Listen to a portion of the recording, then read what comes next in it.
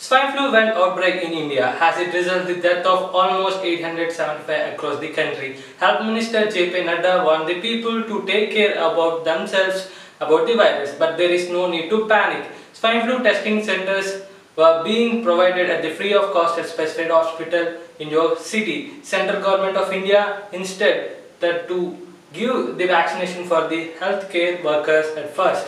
According to local news channels, in Jaipur, over 66 lakhs of people are going to be screened to control the spread of virus in the state. This is Som Shekhar from United C International Beat signing off.